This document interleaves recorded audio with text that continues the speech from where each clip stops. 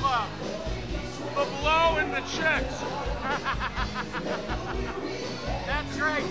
You promoted a lot of bands there. What was the best act you ever did at the Shark Club?